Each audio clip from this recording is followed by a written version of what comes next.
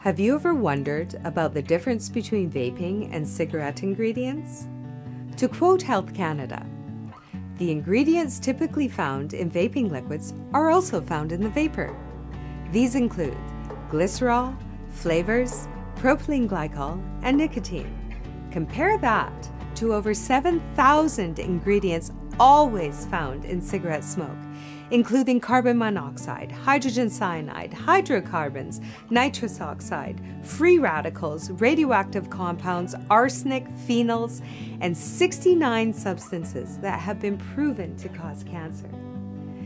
Even before vaping became regulated in Canada in 2018, the vaping industry maintained its own standard which is pretty easy considering e-liquid only has four ingredients that are plentiful, inexpensive, and aren't dangerous to work with.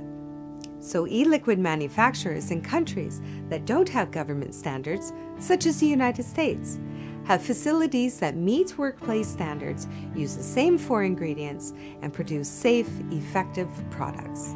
There are no cheaper or less safe substitutions for the ingredients in e-liquid. The base ingredients in e-liquid are propylene glycol and glycerol, which are non-toxic and used in thousands of products, including food, hospital air sanitizers, and fog machines. Nicotine comes in a concentrated liquid, and it's just some simple math to figure out how much to add to make the different strengths of e-liquid. The variable comes in food-grade flavors. We breathe in flavors every time we smell food or when we eat, because most flavor you taste is actually what you smell with your nose. That's why you lose your sense of taste when you have a cold. Cigarettes would be a lot harder to make than e-liquid because as little as 65% of a cigarette is tobacco and up to 600 chemicals can be added to cigarettes.